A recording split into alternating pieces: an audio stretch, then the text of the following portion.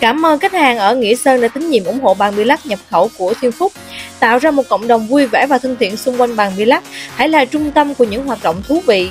Bàn bi lắc có thể là cách tuyệt vời để thu hút khách hàng mới, từ đó thúc đẩy doanh số bán hàng. Đầu tư ngay hôm nay nhé!